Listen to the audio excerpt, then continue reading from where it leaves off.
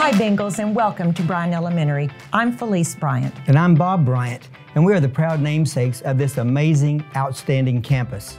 Bob and I have been dedicated educators for a combined total of over 70 years, serving a combined 55 years in Katy Independent School District alone.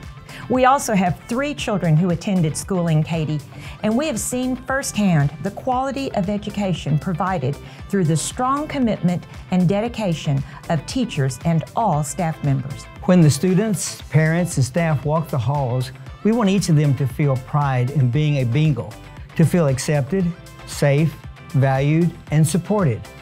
We hope that they cherish their experiences while at Bryant, realizing that they are being well prepared in every aspect for their futures.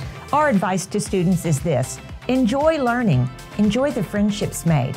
Remember to always help and respect each other, and never miss an opportunity to be kind. Being the namesakes at Bryant is truly an humbling honor.